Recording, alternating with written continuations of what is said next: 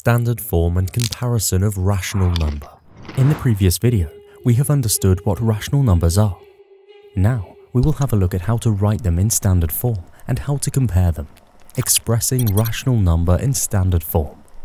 Imagining a 15 over 20 cup of sugar is going to be more difficult than imagining a 3 over 4 cup of sugar. Yet they have the same value. Calculating with a fairly large number is also quite complicated. Nearly everyone has trouble making sense of big numbers and negative fractions. That's why we need to convert it into standard form.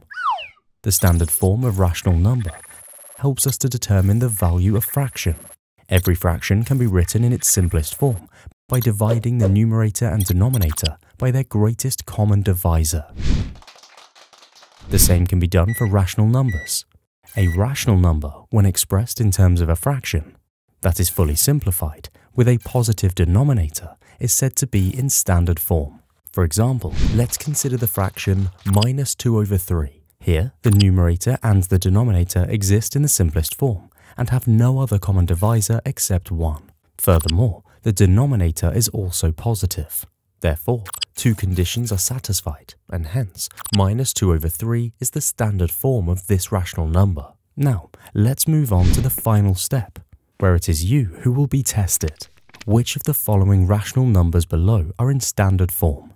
2 over minus 3, 20 over 5, 48 over 12, 1 over 2.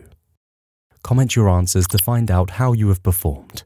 Comparing rational numbers. When you have two rational numbers in front of you, how will you find out which one is greater and which one is smaller? If the denominator has the same numbers, we can easily compare both numbers. But in this case, we will compare rational numbers with different denominators. So, to tackle such questions, you have to follow three simple steps. First, rewrite the given rational numbers so that their denominators are positive. Since the denominator is already positive, we don't need to make any changes. But when you get a negative denominator, change it to positive. It has the same value. Second, express the rational number with a common denominator. To express both with the common denominator, we will have to multiply two unlike fractions with unlike fractions made from both denominators of the given rational numbers. So we end up with the same bottom. Now, both fractions have the same denominators. Last but not least, compare both fractions to get to know which one is bigger.